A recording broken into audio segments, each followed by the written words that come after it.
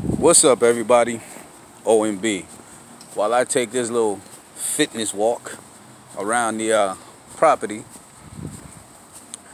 I was told about some black folks in China, some Africans. Let's let, let's let, let's let's be correct. Some Africans in China being discriminated against because of COVID-19. Now,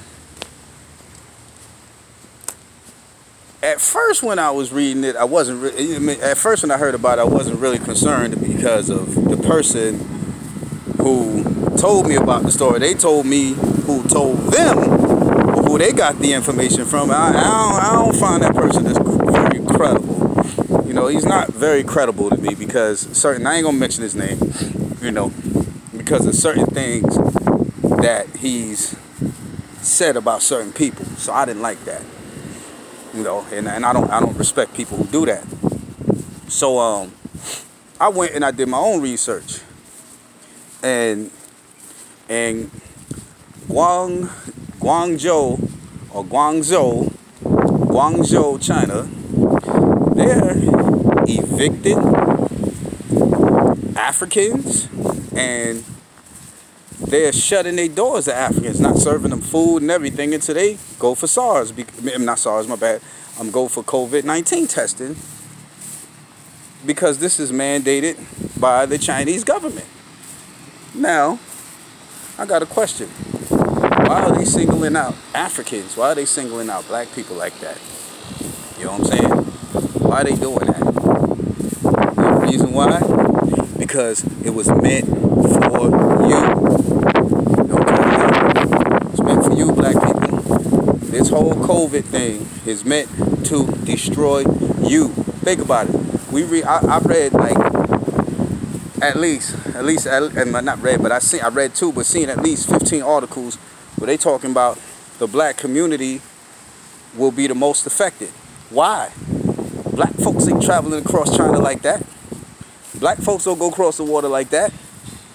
You know what I'm saying? So I'm bugging on that.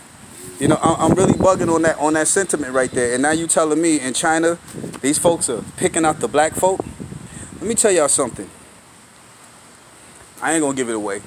I'm just gonna I'm I'm I'm, I'm say it like this.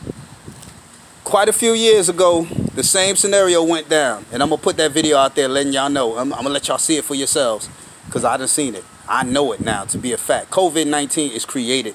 It's created to destroy you. Now think about it. As many times as I heard on the news throughout the years that China is planning an invasion or planning to do something to America, they never mentioned nothing about a biological war. It's still a war, ain't it? You know what I'm saying? Now they say that it's false that this mad scientist from China created this virus and then fled to America and all of this and all of that. I don't believe that. I believe he created it. He did it. Don't know where he's at. Don't care where he's at. But he did it to kill black people.